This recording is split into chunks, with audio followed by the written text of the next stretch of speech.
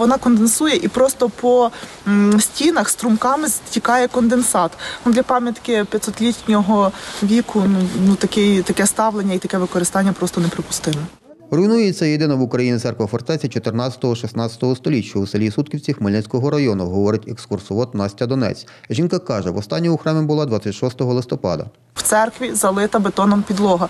Для таких е, пам'яток використання цементно-місних сумішів воно неприпустиме. І через цей цемент, через те, що вставлені пластикові вікна, через те, що вкладені в залізні двері, церква страшно конденсує всередині. Вона очевидно не опалюється, тому що заходиш всередині затхлий, прілий запах. Просто заходиш як в теплицю. Через це вона конденсує. Отець Володимир ключ взяв, туди нікого не пускає. Були времена, коли навіть міліція приїжджала з міліцією і нікого сюди не пускав. За словами Сутківецького староста Леонтія Побережного, зареєстрована релігійна громада Православної церкви України не має змоги проводити службу українською мовою. Отець Володимир, який тут зараз служить в цій церкві, релігійна громада його є Українська православна церква Московського патріархату. Ну, там, от. В нас зареєструвалася і Православна церква України, це років три вже назад, але доступу членам цієї релігійної е, організації доступу до церкви немає. Священник Української православної церкви Володимир Степанишин не пустив до храму і знімальну групу Суспільного. А всередину Знімайте. можна, можна зайти А чого? Як ви вже починаєте за це говорити? Ну, так це ви- ком- ви зараз компромати будете збирати. Хочете помолитися, але грязю не займайтеся, я нічого не буду говорити.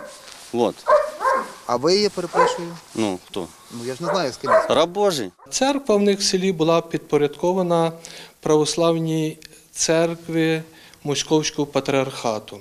І ось у 19-му році відбулася перереєстрація, і через деякий певний період часу були внесені зміни до державного реєстру, і церква на сьогоднішній день юридично належить Православній церкві України. Священник зайняв позицію таку, що він не має бажання переходити в Православну церкву України.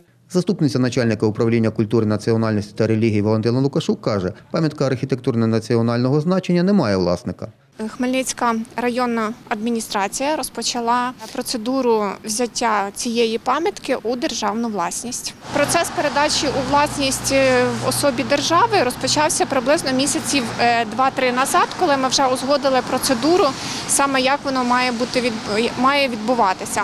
Валентина Лукашук каже, у 2006 році були розпочаті реставраційні роботи, які не завершені. Говорить, релігійна громада, яка належить до Української православної церкви, у храмі провела несанкціоновані ремонтні роботи. Нині Сутківецький храм перебуває на обліку у Ярмолинецькій селищній раді, розповідає начальниця відділу культури, туризму та релігії селищної ради Ірина Бойко.